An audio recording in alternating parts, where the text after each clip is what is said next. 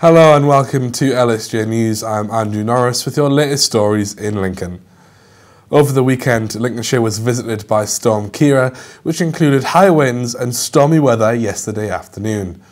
Burgh le Marsh, a 174-year-old Lincolnshire landmark, was struck by the 70-mile-an-hour winds, which then tore off the sails of the historic windmill.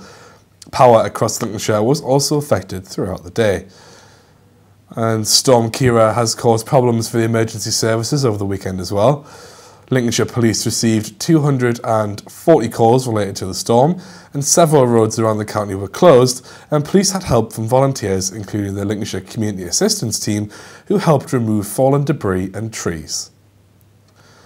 And the Department for Transport has announced funding for the Access Lincoln project until 2021. Access Lincoln aims to provide residents, commuters and visitors with more travel choices. This helps people to save time and money, live healthier lifestyles and protect the environment.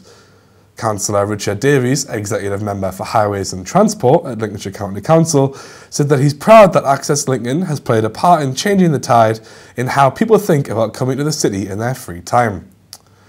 And now for your LSJ Sport Weekend Review with Aaron Mayhew. Thanks, Andrew.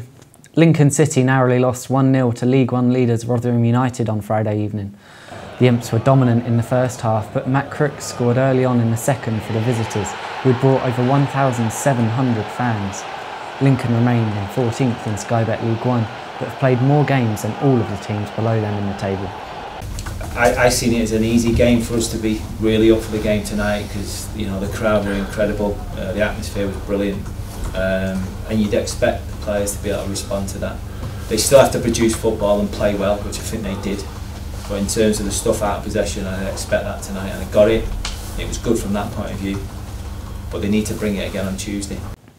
Elsewhere, Lincoln United also played their division's table toppers as they failed to defeat against Leek Town. Charlie Wolford and Rob Stevenson both scored for the Staffordshire club as they increased their lead at the top of the Northern Premier League South East Division. The Whites, meanwhile, remain in 16th place and next face a trip to Sutton Coldfield Town. And in hockey, Lindum men's first team were victorious on Saturday over Ben Riding men's first team. The Yellows clinically beat their opponents 4-1 with Josh Pettinger scoring a hat-trick at Lindum Sports Association.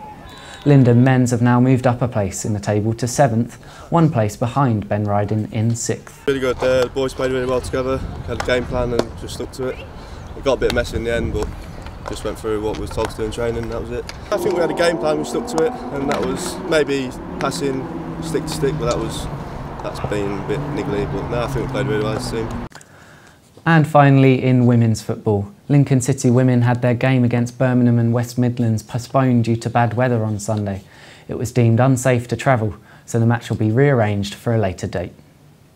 And now for your weather. The Met Office issued a yellow weather warning for snow across Lincoln and other parts of the county today, and we also saw some small amounts of snow falling. Today has been cold, and as I said, we saw some short bursts of snow. It reached a maximum temperature of 8 degrees. Moving into tonight, it will be a clear evening with high winds with a minimum temperature of 0 degrees. And tomorrow, it's looking to be a much brighter day, but it'll still be feeling chilly with a maximum temperature of 5 degrees.